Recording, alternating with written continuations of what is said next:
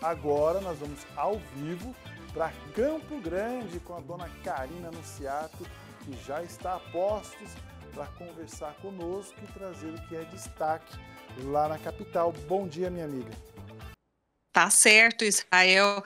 Eu falava aqui então sobre esse é, capítulo, né? Mais um capítulo da novela do contrato de repactuação da BR 163 aqui em Mato Grosso do Sul. O Tribunal de Contas da União está julgando se essa repactuação ela poderá ser realizada ou não.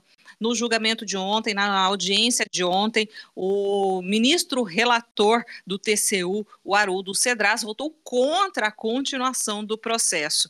Logo depois da votação do ministro, outros dois ministros do, do TCU é, pediram vistas do processo, o que então coloca esta decisão para a próxima audiência, que deve ser realizada na próxima quarta-feira. Essa situação, Israel, ela é importantíssima para o Estado, afinal de contas, a BR-163, ela corta Mato Grosso do Sul de norte a sul, é uma das principais vias aí, rodoviárias, vias do Estado para o escoamento de produtos e serviços, e é claro que impacta sobremaneira toda a população do Estado.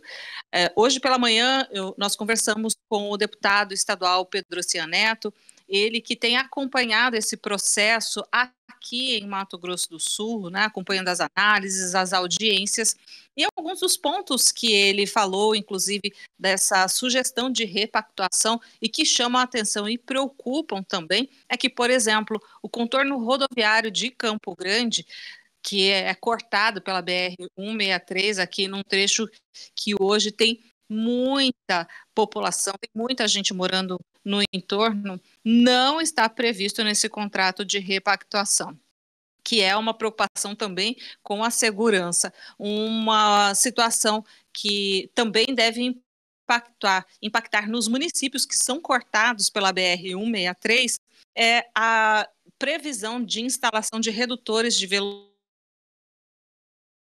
em áreas urbanas. Isso, Israel, é um ponto muito importante, já que 20 anos morreu atropelada na BR-163. Ela tentava realizar a travessia da via quando foi é, atropelada na rodovia. E isso indica a necessidade de redutores de velocidades na área urbana. Neste trecho, neste exato trecho onde essa jovem foi atropelada, Há um ano atrás tinha redutor de velocidade lá. Esse ano já não tem, o que pode ter contribuído também com este acidente Israel.